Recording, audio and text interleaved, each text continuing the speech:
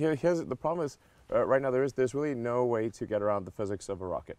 So uh, I think it's important for the long-term uh, preserva preservation and and ultimately the expansion and extension of the, the, the scope and scale of consciousness uh, and the long-term uh, probability of survival of humanity and life as we know it, we must become a multi-planet species.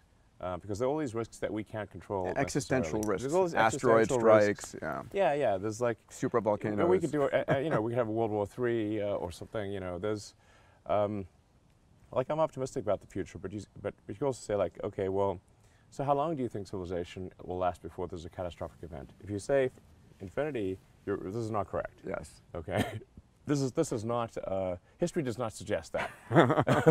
history just suggests we do dumb things to civilizations all the time, you know. And, and you know, the ancient Egyptians, the Romans, ancient Romans, where are they now? let's do the video series. Where, where are they now? Yes. The Civilization's Babylonians, peak. Sumerians, Yeah. the yeah, you name it. You know, so. Um, so there's uh, been many civilizations that have risen and fallen, and anyway, we we got to preserve. Uh, we've got to become multiplanetary, and, and right now the only way to do that is with um, with with rockets that uh, do burn fuel.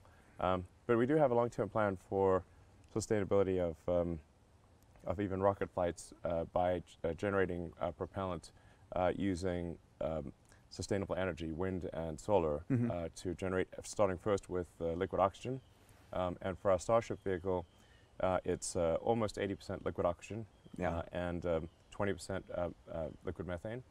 Um, and um, the oxygen, it's obviously pretty easy to create that. Uh, you just use um, wind and solar electricity and um, and you do air, air separator because you've got the oxygen already in the air. The plants are making the oxygen, um, so you can use just you can just use electricity basically renewable electricity to create 80% of the propellant on the rocket, and then for the remaining uh, 20% you can use the Sabatier process where you take you actually take CO2 out of the atmosphere and you combine that with water to create CH4 and, and more O2. Yep. Um, and that's and that's in fact what we would do on Mars Sure. to generate propellant. Sure. So so, so there is a long-term plan for sustainable generation of propellant uh, for the rockets. I do want to emphasize that.